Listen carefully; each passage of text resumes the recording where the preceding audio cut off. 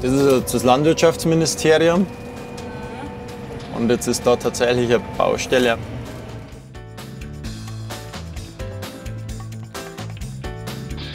Grüß dich, mein.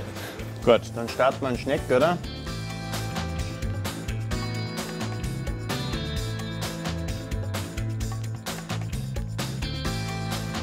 Ich glaube, dass die Denkensweise irgendwie nicht mehr so da ist. Ja? Dass eigentlich der Landwirt schon so ein bisschen Grundversorger ist, auch für die Stadt Leid.